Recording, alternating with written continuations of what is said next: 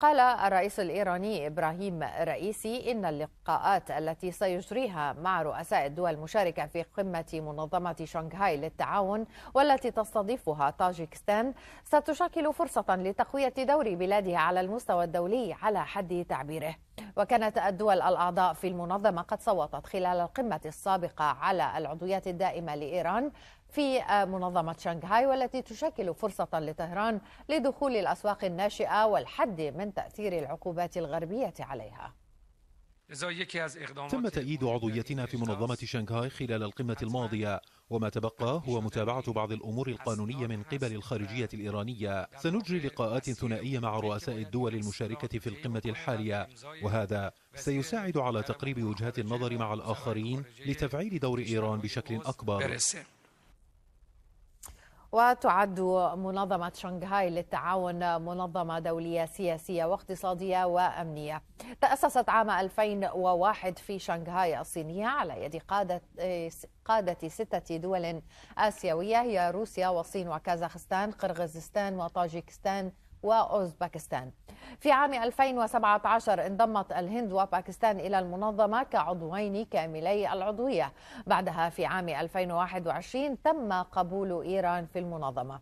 بينما تعد أذربيجان وأرمينيا وكمبوديا ونيبال وتركيا وسريلانكا دولا شريكة.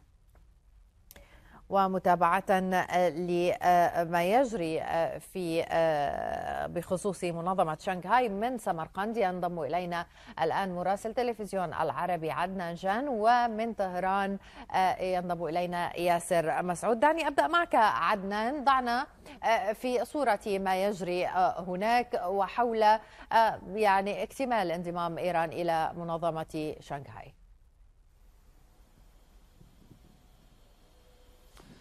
نعم ديما هناك استعدادات جارية هنا في مدينة سمرقند الأوزبكية على قدم وساق استعدادا للقمة التي سوف تعقد في هذه المدينة على مدار يومين يوم غد وبعد غد هنا في مدينة سمرقند التاريخية. بعض القادة من أعضاء هذه المنظمة كانوا قد وصلوا بالفعل هذا اليوم إلى مدينة سمرقند ومن بينهم الرئيس الإيراني إبراهيم رئيسي وغدا سوف يستكمل بقية القادة وصولهم إلى هذه المدينة للمشاركة في أعمال القمة قمة منظمة شانغهاي للتعاون ومن بينهم الرئيس الروسي الرئيس الصيني الرئيس التركي وأيضا عدد من رؤساء دول آسيا كطاجكستان قرغيزستان كازاخستان وأوزبكستان وغيرهم من الرؤساء. وبالتالي هناك اجتماعات موسعة ولقاءات ثنائية سوف تعقدها هذه القمة بين الدول الأعضاء. وسوف يكون هناك بيان ختامي في نهاية هذه الاجتماعات. سوف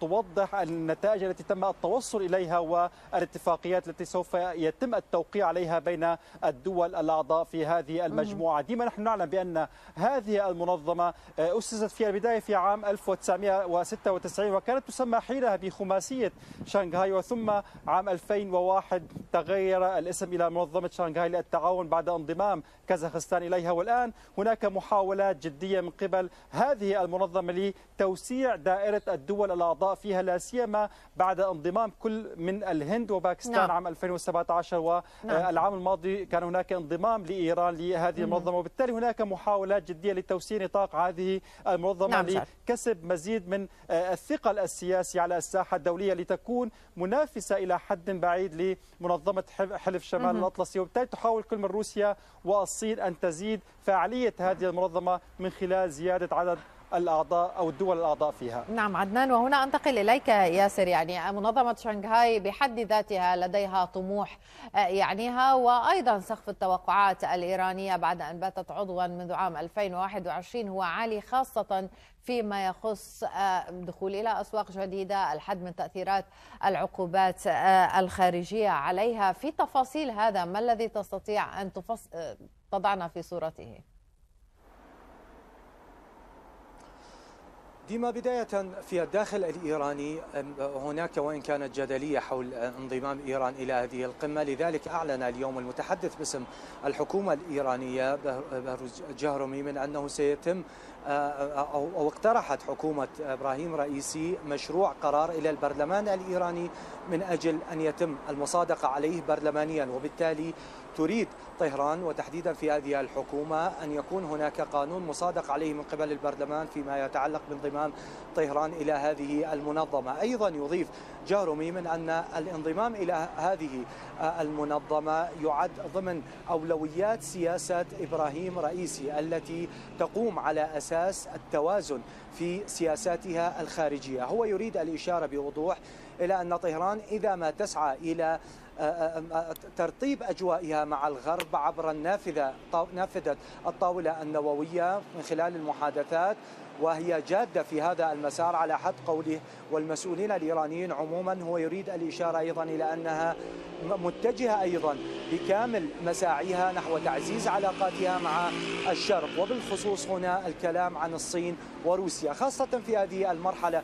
ديما التي تتلكأ فيها المحادثات النووية يعني من خلال الرد والبدل الأخير وحتى التصعيد الأخير الذي ينظر إليه إيرانيا من قبل الوكالة الدولية للطاقة الذرية. وبالتالي تريد طهران أن يكون هناك بديلا لها في الأسواق أن يقلل هذا من حجم الضغوط الاقتصادية التي يعني يرزح تحتها الاقتصاد الإيراني من خلال العقوبات الأمريكية. أيضا تعتبر طهران على الصعيد الاقتصادي الانضمام إلى هذه المنظمة منظمة شانغهاي هو يشكل همزة وصل جغرافيا لإيران ما بين الشرق والغرب وخاصة والكلام هنا عن الممر التجاري الشمال الجنوب وحتى شرقا وغربا ما بين روسيا والغرب. وبالتالي تريد أن يكون نعم. لها حظ أوفر على الصعيد الاقتصادي والتجاري وتوسيع علاقاتها على هذا الصعيد. ياسر مسعود مراسل تلفزيون العربي من العاصمة الإيرانية طهران وعدنان جانمو التلفزيون العربي إلى سمرقند حيث مقر انعقاد قمة شنغهاي. شكرا جزيلا.